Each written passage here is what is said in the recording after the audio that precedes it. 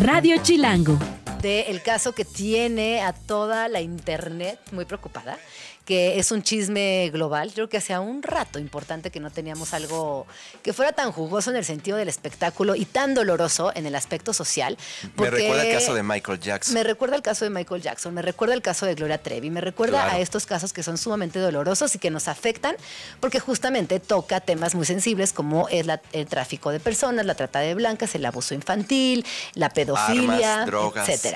Y que eh, finalmente creo que es como un gran performance del horror y de lo que siempre quisiéramos estar lejos y que cuando nos enteramos que sucede nos da mucho escalofrío. Entonces, hagamos un breve resumen. ¿Quién es Puff Daddy? Puff Daddy es el magnate del hip hop. eh, recordémonos por un sello que se llamaba Bad Boy. Eh, en donde hizo muy famosos a muchos artistas.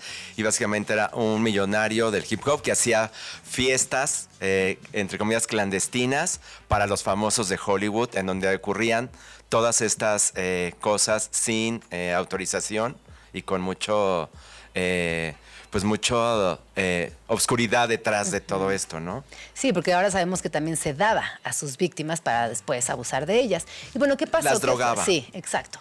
¿Qué fue lo que inició esta conversación? ¿Qué pasó? Pasó que el 16 de septiembre eh, P. Diddy fue interceptado por la policía en un hotel en Manhattan eh, y fue detenido por los cargos de prostitución, eh, armas, abuso sexual, eh, asociación delictiva eh, y incendios, eh, eh, con, no sé, incendios con, eh, hechos por él Sí, mismo. digamos. provocados. Provocados, Sí, eso, se sí. me olvidó la palabra. Provocados. Y después nos enteramos de que había muchísima gente involucrada, pero hasta el momento la lista sigue creciendo y creciendo y creciendo. Hay videos incluso donde se ve que él golpea a su expareja y demás.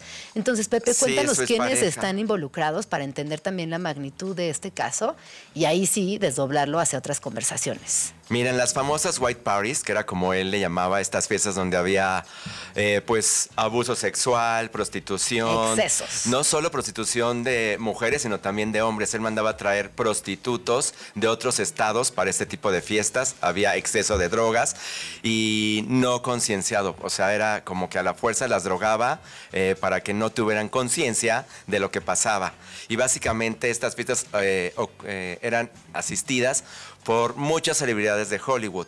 Entre ellas, por decir algunos nombres, se encontraba a Ashton Con Demi Moore. ¿Te acuerdas que fueron novios? Aston Kutcher y Demi Moore, claro. Leonardo DiCaprio, que era un íntimo amigo de P. Diddy también. Eh, Megan Fox y Russell Brand.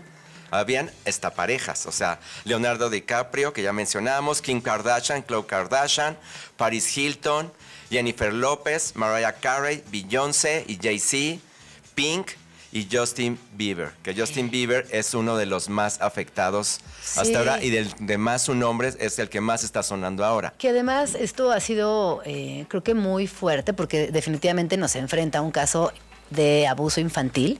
No se ha confirmado nada, sin embargo hay No. muchos rumores. eh, también se ha dicho en redes que hay por ahí un video que confirma este abuso. Y eh, yo recientemente he visto muchos trends donde se analizan con mucha meticulosidad las letras de Justin.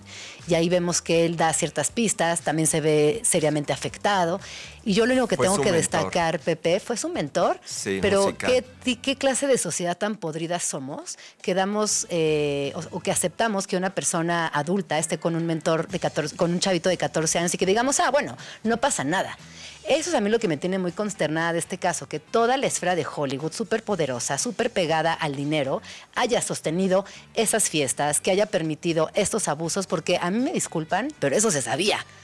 Eso no pudo haber sido un secreto a voces nada más. Pero ¿cómo tardó tanto en, en dársela a la luz? O Yo sea, tengo una teoría. Sí, lo guarda- guardaron el secreto pues muchos años, alrededor de 11 años duraron estas llamadas fiestas Pero porque había videos. blancas. Porque la gente es tan egoísta que dice, no, ¿qué tal que yo salgo? Y el abuso Él grababa masculino. también adrede, grababa todas las fiestas y todas las escenas sexuales Sí. para después eh, Chantajear.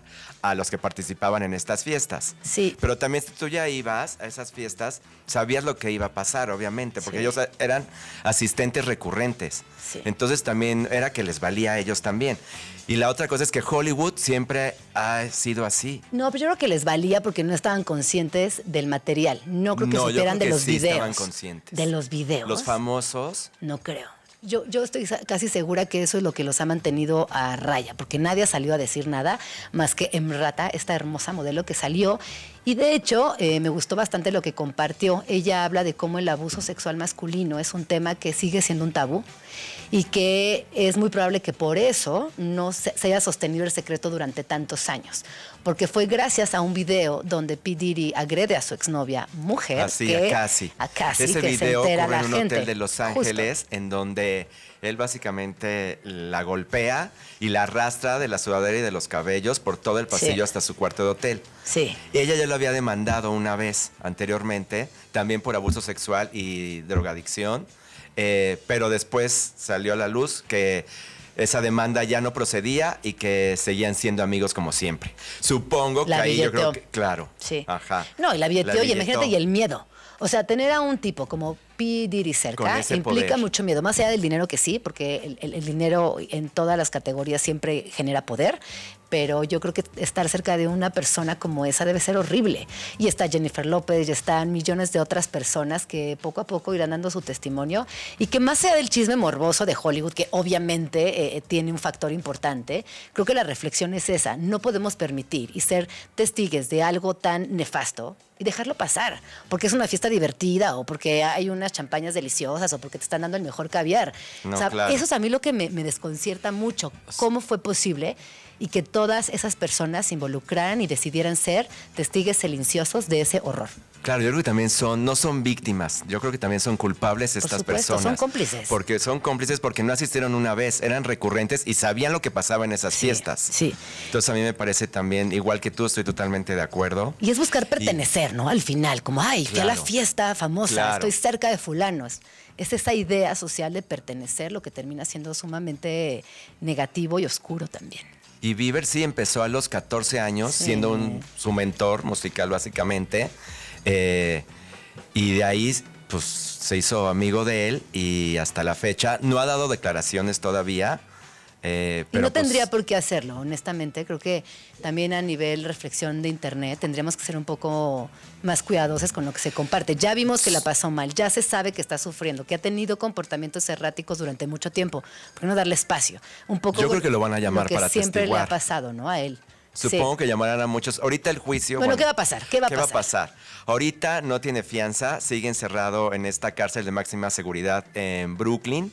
eh, y se está esperando el juicio. Yo creo que mandarán a testiguar a muchos de estos famosos, los cuales muchos famosos ya empezaron a borrar muchos tweets y muchas publicaciones que tienen en redes sobre conversaciones con Pop Daddy o sobre estas fiestas. Pues van a tener evidencia, supongo, para que no los tomen en cuenta, pero vaya, lo- o sea, la tecnología se queda ahí, no es que se borre tu tweet y nadie lo puede encontrar. Es obvio que, que entonces quedas peor borrando esta información. Pero ahorita no se sabe. Apelaron contra esta este encierro ahorita para que pudiera salir bajo fianza y como te comentaba, fue para atrás, está encerrado y lo que eh, queda ahorita es esperar a- al juicio, nada más. Ay. Los abogados están muy seguros y Pop Daddy también. Él ya dio una declaración y dijo que él jura y perjura que no sucedió nada de esto. ajá, ajá. Pero cabe señalar que la policía ya hizo una redada en su casa de Miami, en donde encontraron nueve armas, tres de ellas con el número de. Con su ves que las armas están numeradas. Su número de serie. Su número de serie borrados. Encontraron miles y miles de aceites para bebés Botellas de y, aceite y para bebé. Que eso obviamente nos pone a pensar que es una gran evidencia para estas fiestas, obviamente, y encontraron tres Grammys de él arrumbados en un armario. Se viene otra, este, tiene otra casa en California, en donde también supongo que estarán cateándola. Y supongo que de ahí saldrán muchas pistas. Sí. O sea, que servirán para el juicio. Sí. Hoy, bueno, pues estaremos pendientes. Y, Y, todos estos videos deben de estar en algún lugar. Claro. Que tú dices. Sí, sí, no, todos esos videos van a ser, bueno, son ya, ¿no? El testimonio de que esto sucedía y ahora yo creo que le van a dar cadena perpetua. Puede ser, es cadena Sí, perpetua. Es cadena perpetua. De todos los juicios y se suman más de cadena perpetua todavía, porque él tiene Sí. otros, ah, otros juicios más. Pues lamento además. mucho por todas las personas que fueron víctimas, pero creo que es un buen ejemplo de que eh, esto ya no puede seguir sucediendo y que aunque seas intocable, multimillonario, extra famoso y con todos los conectes, vas a caer, tarde o Es temprano. increíble. Sí. Pues vamos a ver qué pasa, como sucedió con Michael Jackson, como lo comentábamos. Michael Jackson salió libre, no era el caso No, tal cual, no. o sea, creo que son casos Sí, separados, pero sí. también era un famoso donde se acusó de abuso sexual de menores también. Y pues nada, esperemos a ver qué sucede. Ay, Pepe Casanova, ¿dónde podemos seguirte? Síganme en arroba yo no soy DJ. Ay,